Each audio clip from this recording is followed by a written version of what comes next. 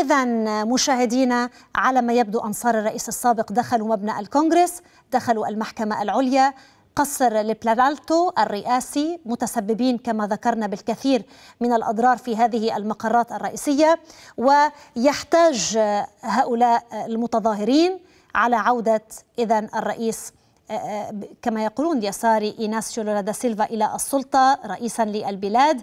وفي هذه الأثناء تحاول قوات الأمن فض الاعتصامات فض ما يجري الآن هذه الاشتباكات على ما يبدو تسجل أيضا أو يسجل وقوع اشتباكات مع المقتحمين وقوات الأمن. كما ذكرت قبل لحظات الرئيس البرازيلي الحالي لولا دا سيلفا موجود خارج العاصمة.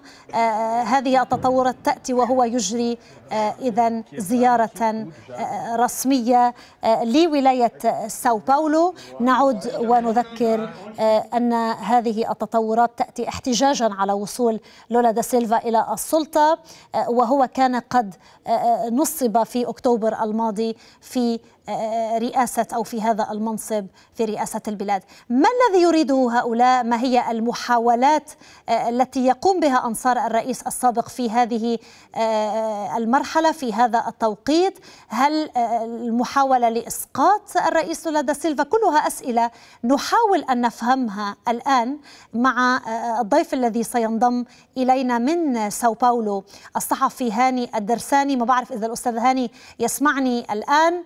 أستاذ هاني أنا أود أن أفهم ما الذي يحصل حقيقة. شو الهدف من هذا التحرك اللي نتابعه؟ ما الهدف من اقتحام هؤلاء المناصرين للرئيس السابق للمقرات الرسمية في البلاد؟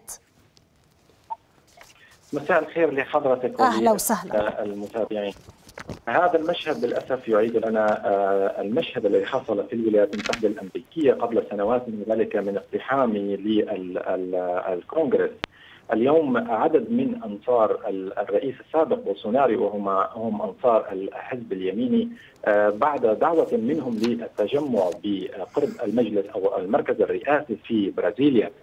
تحول التجمع إلى عملية لاقتحام المركز الرئاسي وذلك بعد وصول عدد كبير بالحقيقة من أنصار الرئيس بولسوناريو.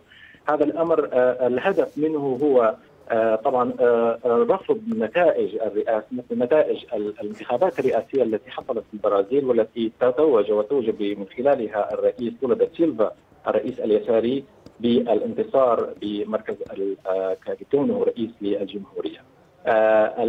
طبعا هذا النوع من التجمع كان مألوفا من خلال تجمعهم وقطع الطرقات بشكل عام ولكن اليوم هذا المشهد هو مخالف لكل أعراف الديمقراطية ومخالف لكل أعراف العمل السياسي، عدد أيضا لا بأس به من أنصار الرئيس بولسوناريو السياسيون الموجودون لحد اليوم لحد هذه اللحظة في العمل السياسي استنكروا هذا النوع من الأعمال.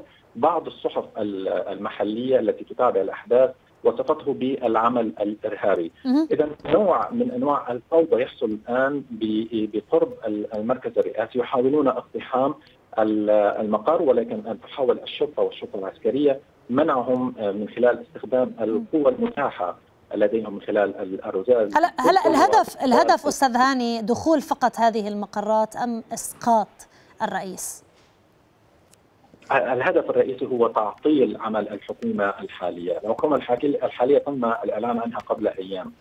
تشمل 37 وزيرا. منهم أيضا بعض الوزراء من حزب الرئيس الذي خسر الرئيس بولسوناريو لكن الهدف الرئيسي هو تعطيل وشلل الحركه السياسية والديمقراطية للدولة في البرازيل بشكل عام، محاولين طبعا أنصار بولسوناريو لفت الانتباه لكونهم رافضين للنتيجة، لحد اليوم أنصار بولسوناريو لم يتقبلوا هزيمته، الهزيمه كانت بفارق بسيط، فارق لم يصل إلى 1% من خلال النتائج ولكن طبعا صندوق الاقتراع هو من فصل بشكل نهائي من هو الرئيس الذي سوف يحكم وكان لولا دا سيلفا وعاد اليسار إلى حكم الدولة. ولكن بشكل رئيسي هدفهم هو تعطيل الحياة السياسية وتعطيل العمل الخاص بالحكومة الجديدة التي تم تأليفها قبل أيام هنا في وإلى أي مدى تعتقدون أستاذ هاني أنه أنصار الرئيس السابق بإمكانهم الوصول إلى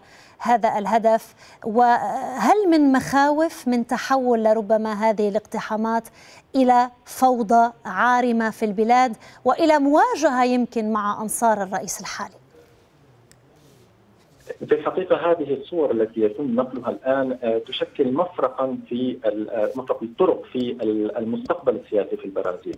فإما سوف تتحول إلى مواجهات مباشرة أو بأن بعض الأصوات العاقلين في السياسة البرازيلية سوف يدعون لاحتواء هذا النوع من الاحتجاج وأن يبقى ضمن اطاره القانوني وضمن الإطار الديمقراطي بعيدا عن استخدام العنف. يذكر بأن الفريق أو المؤيد لبولسوناريو يوجد به الكثير من اليمينيين المتطرفين والذين قد لوحوا مسبقا باستخدام القوة بشكل مباشر صحيح. آه طبعا من قبل عدة أيام تم نشر أخبار متعلقة بإلقاء القبض على شخص حاول زرع قنبلة في ليلة الأعياد الميلاد في ليلة ال 24 من ديسمبر العام الماضي. وذلك باعتراف منه بأنه كان يسعى لعمل نوع من أنواع البلبلة لمنع تنصيب الرئيس لولا سيلفا والذي كان محددا بتاريخ واحد يناير في 2023 لم يحدث الأمر ولكن هذه كلها مؤشرات إلى وجود نية لدى أنصار حزب اليمين من استخدام القوة إلى حد ما. الأيام المقبلة الساعات القليلة التي سوف تتلو تتلو هذه الأحداث سوف تبين لنا هل هنالك أصوات من العقلاء داخل اليمين سوف يدعون ويحاولون من تهدئة اليمينيين المتواجدين الآن في الشارع ومنعهم من الانجراف اتجاه استخدام القوة، هذه الساعات القليلة القادمة أعتقد بانها سوف تكون ساعات مهمة جدا في مستقبل السياسي للبرازيل بشكل عام.